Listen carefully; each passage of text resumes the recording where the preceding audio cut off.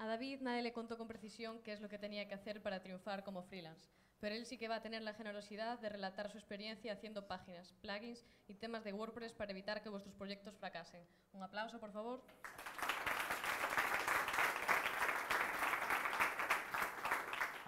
Muchas gracias. Bueno, pues yo os voy a hablar de errores que me llevaron a fracasar como freelance y bueno, son errores que he cometido yo, y, todos son dentro de lo que es el modelo de negocio freelance en sí. Eh, bueno, antes de nada soy David Viña, como ya dijo la compañera, me podéis encontrar en davidviña.es y, y, en Twitter por soy Bigol. Bueno, antes de nada os pongo antecedentes muy brevemente. Yo empecé haciendo páginas web con una marca comercial, eh, concretamente era webdesigncoruna.es, mientras lo compatibilizaba con mi anterior trabajo. Y bueno, de ahí tenía una media de 20 peticiones de presupuesto mensuales, aunque bueno, al final salían pues con suerte dos proyectos, pero bueno, no, había, no me iba nada mal.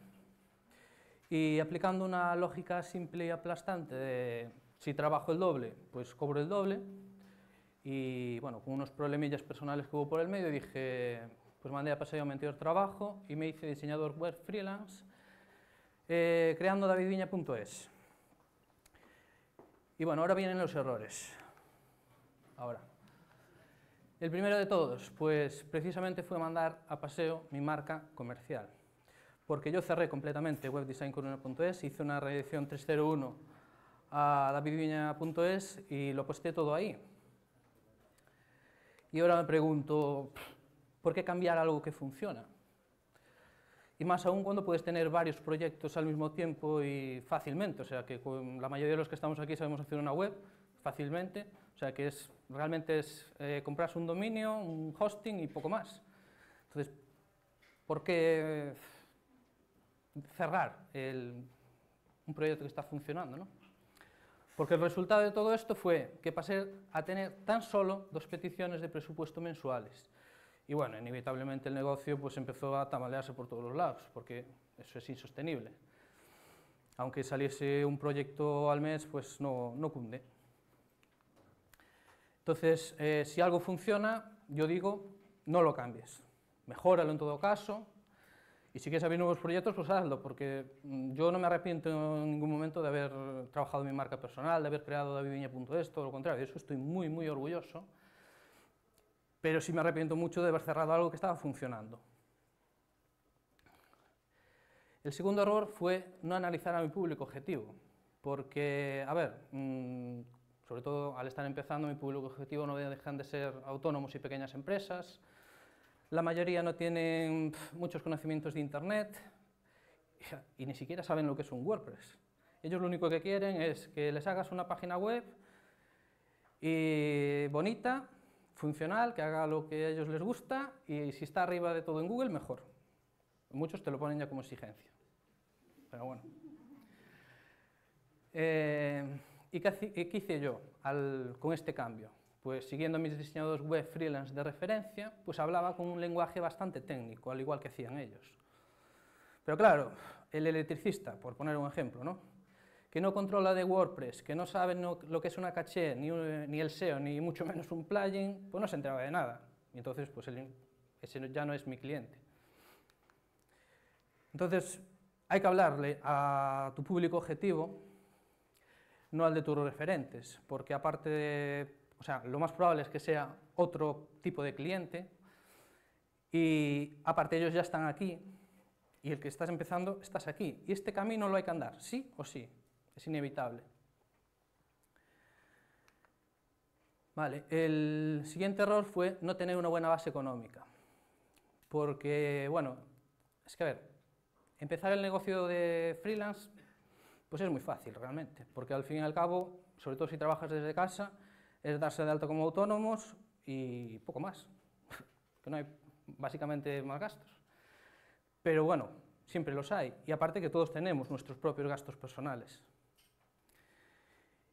Y por experiencia os puedo decir que os podéis pasar meses sin ingresar ni un solo euro. O sea, hay que tenerlo muy en cuenta cuando uno se da de alta porque es tan fácil lanzarse a ser freelance que, hay veces que no tienes estos detalles no se tienen en cuenta, ¿no? Y, y bueno, hay que tenerlo. Vale, eh, ser demasiado optimista, eh, ser demasiado optimista. Bueno, yo soy optimista por naturaleza, entonces igual es eso.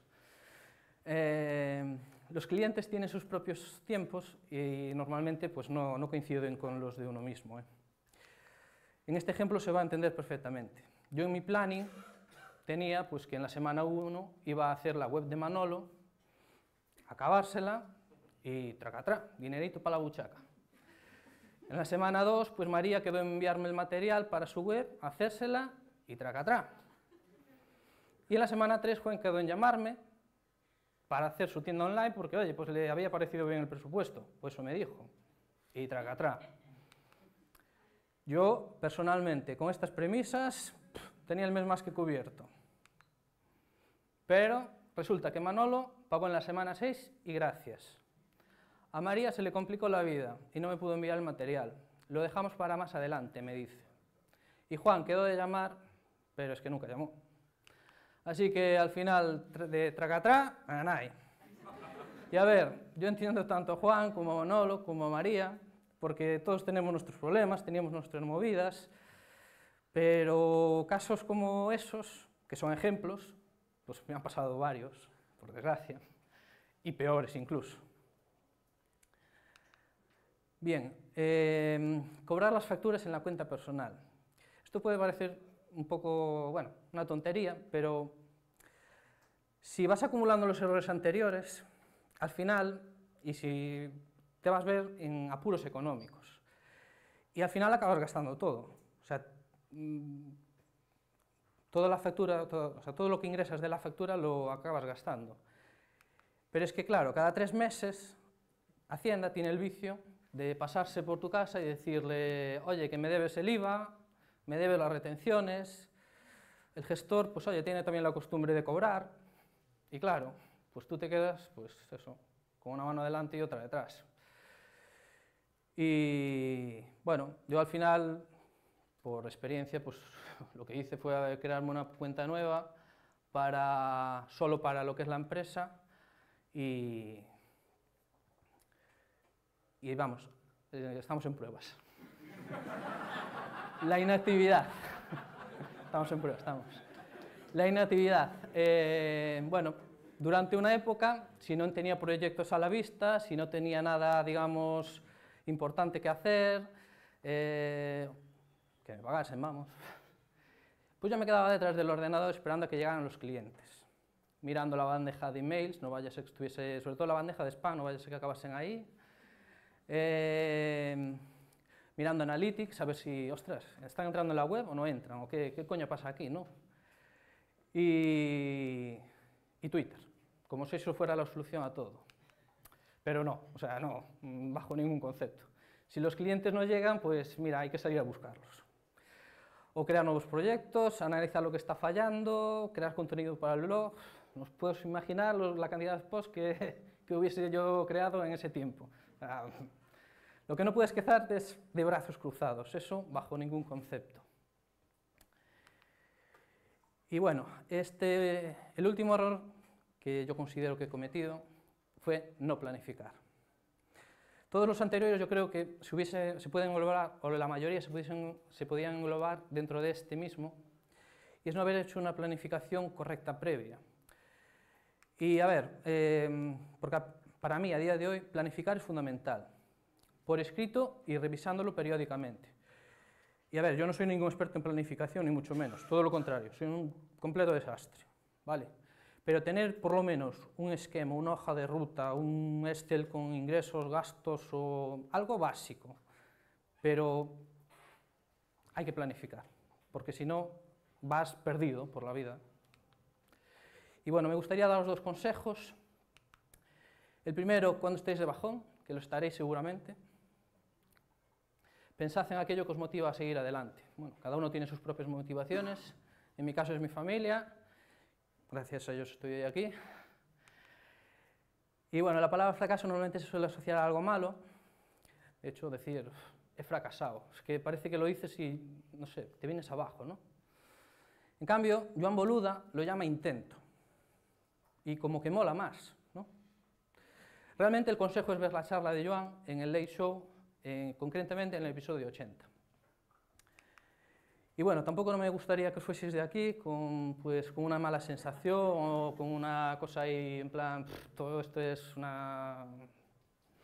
todo esto es malo, aunque sea la triste, mi triste realidad. Eh, yo prefiero que os vayáis con una frase en la mente y es, reconocer el fracaso es el primer paso que hay que dar para llegar al éxito. Y bueno, muchas gracias.